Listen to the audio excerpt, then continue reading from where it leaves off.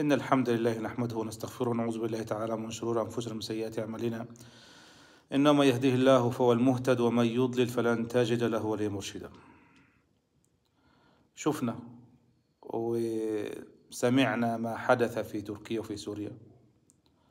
جراء الزلزال الذي وقع في البلاد أمس واليوم. أسأل الله عز وجل أن يتقبل شهداءهم من مات منهم على التوحيد. وأن يداوي جرحاهم إنه ولي ذلك والقادر عليه.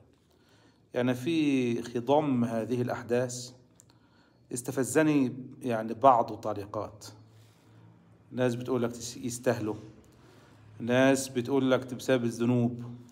وناس بتقول لك بسبب الخمارات والدعارات المفتوحة في هذه البلاد. ناس تانية بتقول لك سبب سبب ال ال الظلم سبب مش عارفة الربا ومش عارفة إيه والكلام ده كله. لا تتأله على الله. فالسؤال هنا يعني هل كل كارثة أو كل مصيبة تقع سواء تقع على البلاد أو على العباد هل تعد يعني بسبب الذنوب ولا لأ؟ طب وإيه ذنب الناس اللي ماتت يعني؟ ما في ناس طيبين ماتوا وفي أطفال ماتوا في الزلزال يعني. ذنبهم إيه؟ حتى لو ربنا أراد أن يعاقب العصاة أن يعاقب الظالمين طب ذنب الأطفال إيه؟ وذنب الشيوخ إيه؟ وذنب الحيوانات إيه؟ فلازم من الرد لازم من الرد على هؤلاء الناس. أولا أخي الكريم ما يقع شيء في الأرض إلا بإذن الله. قال الله عز وجل ولا تسقط من ورقة إلا يعلمها ولا حبة في ظلمات الأرض ولا رطب ولا يابس إلا في كتاب مبين. طيب قال الله عز وجل اسمع بقى ربنا قال إيه عن المصايب؟ قال الله عز وجل ما أصاب من مصيبة في الأرض ولا في أنفسكم وهي في مصائب أرض وفي مصائب النفس. آه مصائب الأرض الزلازل والبراكين والفيضانات وارتفاع الحرارة وانخفاض الحرارة والأوبئة والفيروسات والفيضانات والسيول. كل ذلك من كوارث الأرض ومن مصائب الأرض.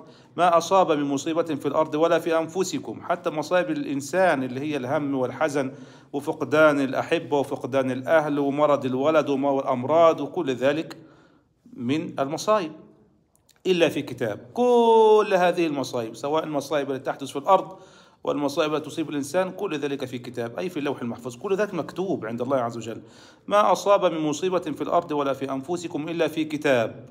من قبل أن نبرأها. عارف نبرأها يعني من قبل أن نأذن لها بالوقوع. يعني الزلزال الذي حدث في سوريا مكتوب عند الله عز وجل في لوح المحفوظ قبل خلق السماوات والأرض بخمسين ألف سنة.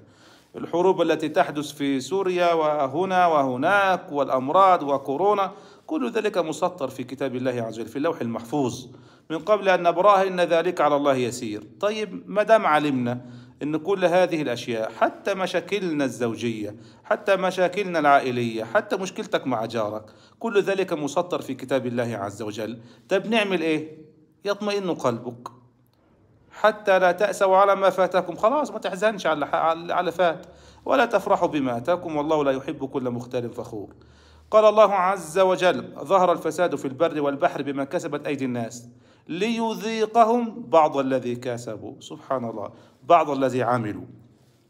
لذلك إخواني يعني كل ما يحدث في الكون بأمر من الله عز وجل. الزلازل والبراكين والبراكين والسيول والإعصارات. والأوبئة والفيروسات هذه جنود جنود الله عز وجل. وما يعلم جنود ربك إلا هو.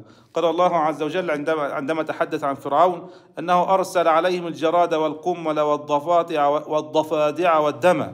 صح؟ ده كله آيات من الله عز وجل. طيب يعني إحنا لحد الآن ما عرفنا يا شيخ هي عقوبة ولا مش عقوبة؟ اولا لابد أن تتأدب مع الله عز وجل. لابد أن تتأدب مع قدر الله عز وجل. لا توزع أقدار الله عز وجل على الناس. واحد مريض بالسرطان ده بسبب عمله يا شيخ أنت ما كنتش تعرفه كان بيعمل إيه. واحدة طلقت أو واحدة تزوجت رجل طلع مش كويس ده بسبب أعمالها وبسبب مش عارفة إيه. راجل تاني ربنا أكرمه ما بصليش ولا بصد ولا تصدق ولا يصوم. يقول لك مبسوط وربنا راضي عنه. كيف كيف نوزع الأرزاق؟ وكيف نوزع يعني أقدار الله عز وجل على الناس؟ هذا تاله على الله عز وجل. أخي الكريم كما علمنا القرآن وكما علمتنا سنة النبي صلى الله عليه وسلم المصيبة إما أن تكون عقوبة وإما أن تكون لرفع الدرجات. طب نعرف إزاي؟ طيب عندي تكون عقوبة للكافرين. كما أهلك الله عز وجل الأقوام السابقين قوم آه، نوح وقوم لوط وعاد وثمود وفرعون. أهلكهم بذنوبهم. قال الله عز وجل مما خطيئاتهم فوالله ما نزل ما نزلت عقوبة ولا بلاء إلا بذنب بسبب الذنوب. قال الله عز وجل وما أصابكم من مصيبة فبما كسبت أيديكم. خلي بالك. ويعفو عن كثير. طب يعفو عن كثير خلي بالك. قال الله عز وجل وما أصابكم من مصيبة فبما كسبت أيديكم. كل المصايب اللي بتحصل لك دي بسبب ذنوبك. طب يا شيخ طب والنبي صلى الله عليه وسلم كان عنده مصايب؟ والأنبياء كان عندهم مصايب نبي الله داود نبي الله أيوب يعني مرض يعني حوالي 18 عام. هو كان عمل حاجة. حتى القوم صح؟ حتى قومه قالوا والله لقد فعل أيوب ذنب لذلك أصيب بهذا المرض. طب إزاي؟ طب هو عقوبة ولا إيه بالظبط ولا ابتلاء؟ طيب إذا أصابت المصائب غير المسلم فهذا عقوبة له في الدنيا وتنتظره عقوبة في الآخرة. وإذا أصابت المصيبة المسلم العاصي البعيد عن الله عز وجل فهي كمثابة تمحيص يعني تمحيص تطهير له. كما قال النبي صلى الله عليه وسلم ما يصيب المؤمن أو ما يصيب المؤمن من هم ولا وصب ولا هم ولا حزن حتى الشوك يشاكها إلا وقد غفر الله له بها. أو كما قال النبي صلى الله عليه وسلم. طيب يبقى واحد مسلم أصابته مصيبة المسلم ده هو عاصي يبقى ده تكفير له للذنوب. واحد مرض وكان عاصي يبقى تكفير له من الذنوب. طيب لو كان غير مسلم تكون له عقوبة في الدنيا وينتظر عقوبته الأشد يوم القيامة.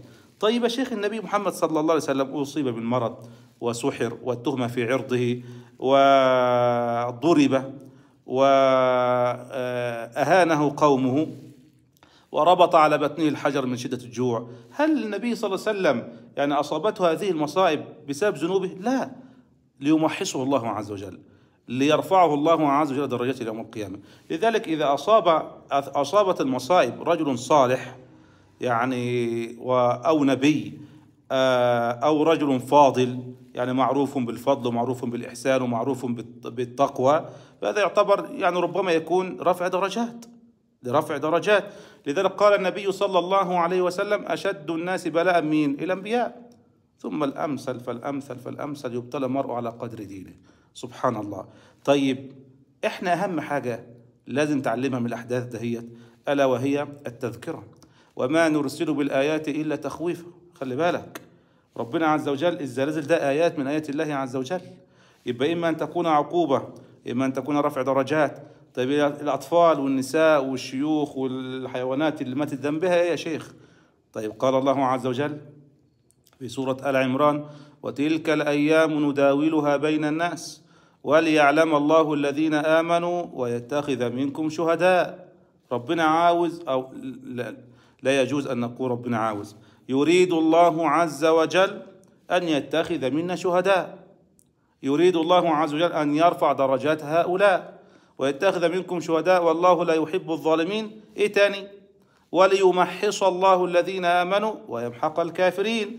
أم حسبتم أن تدخلوا الجنة ولما يعلم الله الذين جاهدوا منكم ويعلم الصابرين؟ يبقى أنت لا تتأله على الله عز وجل. جارك مريض زوجتك مريضة لا تتأله وتقول إن جاري أصيب بمرض بسبب عمله وإن زوجتك أصيبت بالمرض إنها, تم... إنها رفع درجات لها. لا تتأله على الله عز وجل. اترك الناس لرب الناس. طيب التذكرة خلي بالك. انت شفت الزلزال شفت البراكين شفت آيات الله عز وجل. فيجب عليك أن تخاف وما نرسل بالآيات إلا تخويفا. طب أنا شفت كل هذا وما زلت أعصي الله عز وجل. يقول الله عز وجل فلما نسوا ما ذكروا به. لو انت خلاص شفت العمارات تنهار وشفت الأطفال وشفت الناس بتموت والزلزال هنا والزلزال هناك وانت لم يتحرك قلبك. اعلم بقى ربنا يديك أكتر وأكتر. مش هيحرمك.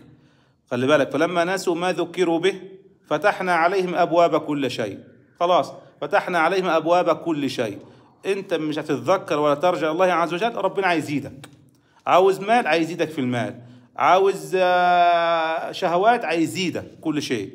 فلما نسوا ما ذكروا به فتحنا عليهم أبواب كل شيء. حتى إذا فرحوا بما أوتوا ده قالوا لما ربنا زودهم على معاصيهم وعلى طغيانهم ظنوا أن الله عز وجل اصطفاهم ويحبهم. ظنوا أن الله عز وجل قد اصطفاهم وهو بذلك يحبهم. فلما نسوا ما ذكروا به فتحنا عليهم أبواب كل شيء. حتى إذا فرحوا بما أوتوا أخذناهم بغتة. فقطع دابر القوم الذين ظلموا. فأخذناهم بغتة. شوف أخذناهم بغتة. يعني خلاص تيجي في لحظة من اللحظات كده حتى مش هيقدر يرجع لله عز وجل حتى مش هيقدر يقول لا إله إلا الله. يبقى يا إخواني خلي بالك تذكر. والله ما يحدث في تركيا أو في سوريا أو في هذه البلاد اللي أنا فيها زلزال كل دقيقة. يعني هنا الزلازل عادية جدا كالهواء كالماء والهواء. طيب لابد أن نتذكر الله عز وجل عندما أهلك قوم لوط بالحجارة وأسقط عليهم حجارة من السماء قال في نهاية الآيات وما هي من الظالمين ببعيد مش بعيد عنك. يبقى أنت مش متدفي تحت البطانية ومبسوط وبتسمع الماتش والتلفزيون والكلام ده كله وتقول يستاهلوا وتقول على أهل فلسطين يستاهلوا تا إسرائيل خلاها تأدبهم لهم يستاهلوا كذا وكذا وكذا وكذا. لا تتأله على الله عز وجل. أسأل الله عز وجل أن يتقبل موتاهم الذين ماتوا على التوحيد أن يتقبلهم من الشهداء وأن يداوي جرحاهم. إنه ولي ذلك والقادر عليه. والسلام عليكم ورحمة الله وبركاته.